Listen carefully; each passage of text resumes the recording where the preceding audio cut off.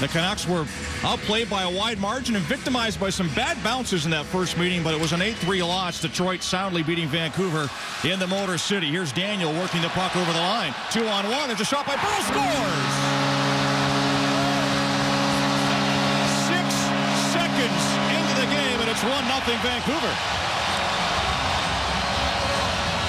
Well, Brian Lashoff and Nicholas Kronwall are the victims of this play right here. It's going to start right face off in the quick play right up to Daniel, right up the middle. You can see how far apart that Lashoff and Kronwall are, similar to the goal that Taylor Hall scored on uh, Kronwall and Eriksson yesterday. So that's why that pairing was changed tonight, Kronwall with Lashoff. But that just that mistake just can't happen. That is just such a simple play right off the face-off that Detroit, as Mike Babcock told us this morning, they didn't start playing yesterday until they got angry.